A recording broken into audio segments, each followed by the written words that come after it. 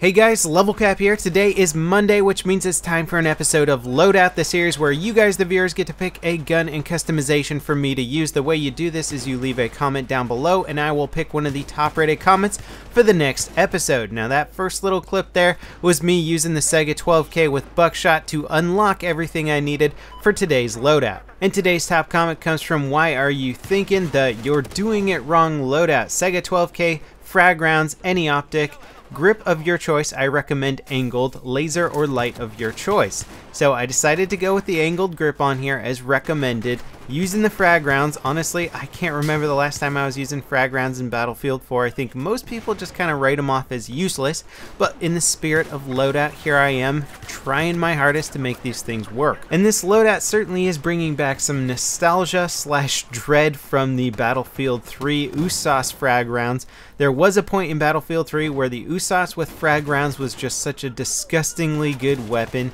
Uh, it could really destroy everybody in Operation Metro, and I had a few videos using the USAS 12 with frag rounds and the infrared night vision scope when it was pretty much overpowered and could spot anybody out on Metro, and it just made it so easy. Uh, that was certainly a broken state of Battlefield 3, so if you remember it fondly, then good for you. This is probably as close as you're going to get to it in Battlefield 4, but it just isn't quite what it used to be. Now, of course, finding the USAS 12 in one of the maps in Battlefield 4 is certainly closer to the Battlefield 3 variation, but uh, you can't always guarantee that you're going to get that weapon. Splash damage certainly is the name of the game with frag rounds. Certainly direct shots are going to do good damage as well, but if you can't get a direct shot, then bouncing the round off of any surface near your opponent is going to do the trick. Now, if you hit somebody directly with a frag round, you should be doing both direct damage and splash damage at the same time, and that damage varies not only on your distance, but whether or not you're using it with a semi-auto shotgun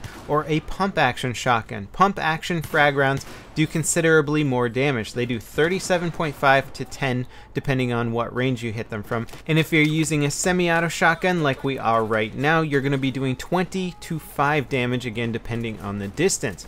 Of course, you have that extra added damage of 25 uh, potential splash damage. That drop off is about to 2.5 meters. So you want to make sure that you get that splash as close to your opponent as possible to get that maximum 25 damage. And as you can see from this range kill here, I'm using it essentially as a very weak grenade launcher. The drop off on these shells is absolutely insane.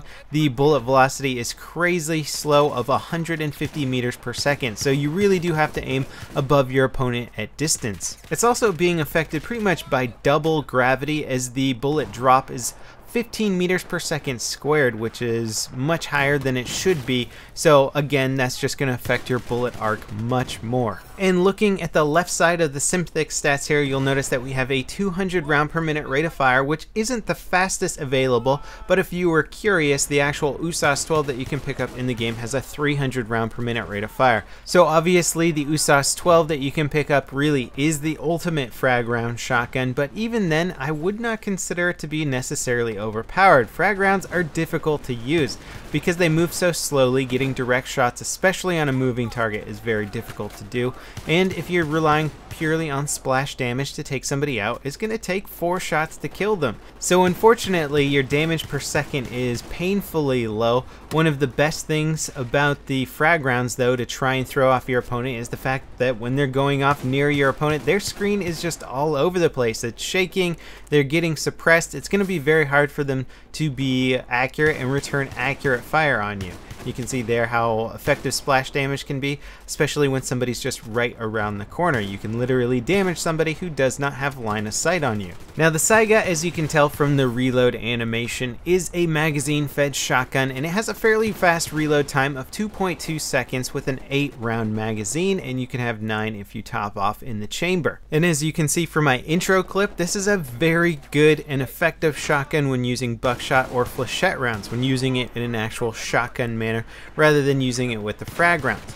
Frag rounds, on the other hand, just puts you in a very weird situation. I don't know if it really matters what weapon you're using it with. Oftentimes, if I find an USAS on the ground in one of the one of the maps, which is clearly the best frag round shotgun, I will just leave it there because it is a difficult weapon to use and it puts you in a weird situation. You'll see I'm aiming at somebody's feet right there because that is a viable tactic because it can be so hard to get direct body shots on them that just aiming at the feet and getting guaranteed splash damage is a safer route to go. For long range shots you often don't have the luxury of choosing exactly if you want to go for body damage or splash damage specifically. I just try and aim as close to the target as possible and hope for the best. Again you may notice that it seems like a lot of my opponents are taking uh, a while to return fire on me and again a lot of that is just because of the chaos that the frag rounds create on the other end.